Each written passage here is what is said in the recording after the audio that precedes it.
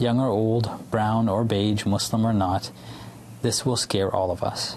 And it is okay to be scared. In the wake of last week's brutal attack on a pair of mosques in Christchurch, New Zealand, many have been trying to process exactly what happened. Now, a Winnipeg psychologist and Muslim dad has penned an open letter to his five year old son, trying to make sense of it all. Before I came to this interview, I went for Friday prayer.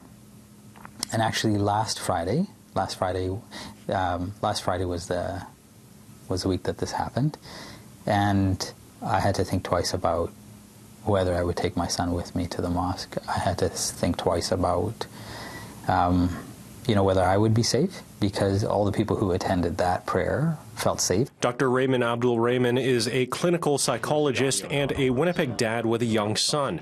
He's also a practicing Muslim, and in the aftermath of Christchurch, Abdulrehman says he struggled with how to explain what happened to his son. One of the common questions my kid will ask me is, Papa, why did why did those people why were those people mean to us?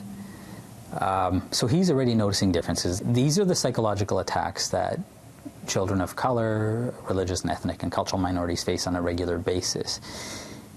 And so now to lay this burden on them um, is significantly grotesque. It's significantly damaging to their self esteem and their identity. A specialist in trauma and issues of diversity and inclusion, Dr. Abdulrehman says young children who are visible minorities rarely see themselves in media, so tragedies can have a devastating effect, especially after an attack on members of the same visible minority or religion. I think when we are represented, we are treated in a stereotypical fashion. I think as a result of that, we are always seen as the outsider. We are always seen as invaders. We are always seen as immigrants. We are that or refugees. We are never seen with the wherewithal and the privilege and the strength to be active members of communities. Abdulrehman says integration of all people in society and seeing people of all backgrounds contributing to society can help normalize visible minorities to people who consider them outsiders and reduce acts of hate. What happened in Christchurch, what's happened in Quebec City in the mosque there, what's happened at the synagogue in